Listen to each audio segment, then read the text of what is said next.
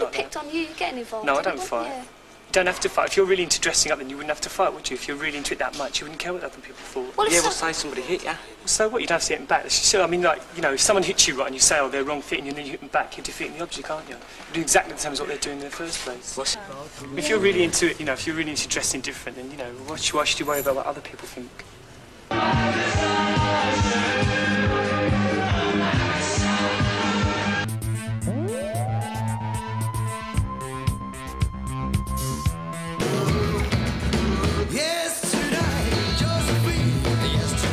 I just remember feeling a bit of an imposter. I think this year, year is going to be um, a year for culture, basically. What does it mean? It doesn't mean anything, but what represents culture? You know, as many cultures as possible. I mean, it, the Star of David's a sort of like African thing as well. It's not just a Jewish thing. And it's like, that's basically what it represents, you know, culture. There's a very sort of big dwarf look at the moment, you know, dwarfs. I mean, it's about that big, you know, it's a small man's look. And they wear these big sort of rocks on their heads, you know, a bit like Malcolm McLaren. Yeah, I suppose. Oh, no, no, no, not free. No, you I get a discount if you buy I the see. album. I see. ok. allora, questo è un omaggio particolare che mi fanno. This is a rather podgy version of me, but I think it's quite cute. I think this person obviously foresees the future and how I'm going to look after a few good meals. But this is the great ones. You know, there's, a, there's an atmosphere around somebody, there's an atmosphere around Culture Club that we've developed and that we've created ourselves.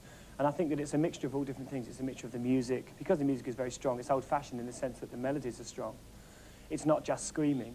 And, you know, people usually look at people like us and say, God, you know, why do they look like that? Yeah, and also, but I think the main thing is that I think I walk up with my head up. When I used to, I used to have a shop in Carnaby Street, and there used to be gangs of skinheads on the corner, and I used to go around in high heel shoes. You know, I don't wear them anymore, of course. I think that just because a few sort of people who wear makeup make records, it doesn't mean there's a third sex developing. You know, the thing about pop stars and arty people is they have this opinion that because they're sort of doing what they're doing, everyone else out in suburbia is doing the same thing, which is rubbish. We all have our levels of eccentricity. You know, everybody has a certain idea of how they look best. And mine might be a little bit more extreme than the usual man in the street, but um, I think gradually, you know, things will change. You know, to me, the saddest is that I cannot change life for all those other Georges, people like Philip and Paul, you know, who aren't famous. I think basically uh, the media get bored of writing good things about you and they start digging for dirt. Um, by answering that question, I'm almost admitting that it's true. You know, it's like somebody says, to, if somebody comes up to me and says, do I take drugs? I never discuss those sort of subjects because by discussing them, you give them credibility. You know, because there's nobody, you know, there hasn't been anybody for years who's got anything to say. Look at Prince, I mean, he's wonderful to look at, but there's nobody that's quotable.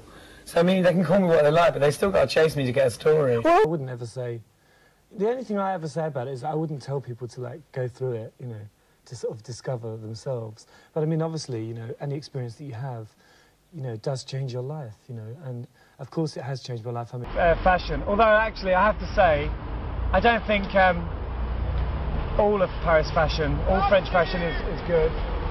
You know, I think that Jean Paul Gaultier is pretty good. I mean, that's the thing about like sort of being being famous is, is such a it's such an ugly thing in a lot of ways. It has its good sides because it means that you get to travel and you get to meet people. There need to be black programmers. There need to be more black people at record companies, younger people at record companies as well. There's no young people at Virgin. You know, they're all old. They've all made their money. They're all complacent, and that is the problem with a lot of record companies. We need, we're really in need of a revolution, like punk. I like rap music, but I don't like the homophobic aspect of rap at all. I don't like the fact that they don't like queers. Something that had a sense of, you know, movement. And then Culture Club because we, we decided that, you know, there was a Jew, an Anglo-Saxon, a black man, and an Irish gay man, so we thought, well, that's perfect, you know, it's Culture Club. Well, that I've always loved through history, people like Elvis Presley, Bowie, you know, Little Richard, Jimi Hendrix, they've always had more than their music. There was much more to them than just the guitar solo. It was, they had a style. There's a part of you that always feels separate, and there's another part of you that always wants to belong. So I think it's, it, it's really all to do with that. I mean, the whole album is really autobiographical. It's, it's very much in line with my book. Hello, I'm Boy George, and you're watching RBTV. Come out of the closet, all you students. We want you. I'm gay. Ich bin schwul und das verschafft mir einen ganz anderen Blick auf die Welt und das Leben. Ich weiß, dass ich eine gute Stimme habe. I know I've a good voice.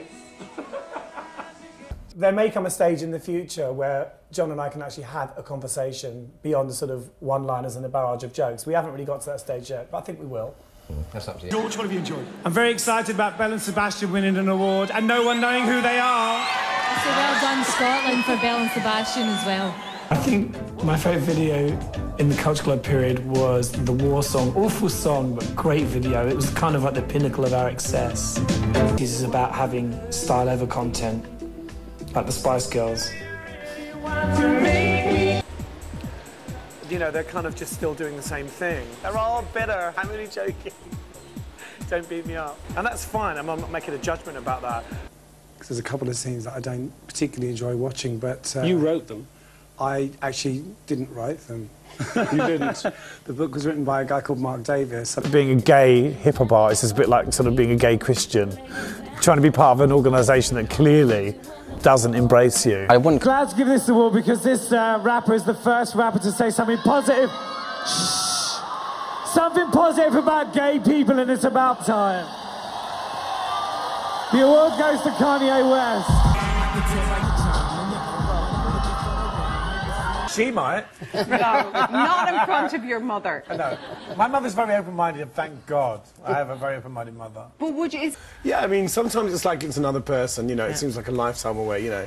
Sometimes I'm, i What interests me when I see, like, vid- interviews on YouTube and some of the things I used to say. Yeah, well, hopefully you'll say some of them. now when I call people, they go, is it you? Because, you know, it used to be like, but I don't do that anymore. So, yeah, no, it's, that was the biggest thing for me. Cigarettes was the hardest thing, but I'm really glad that I've stopped it.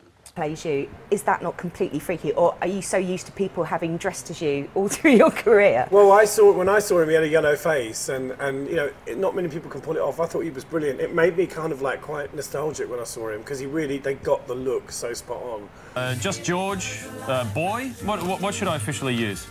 George is fine, boy. In America, people call me Mr. Boy, which is always very amusing.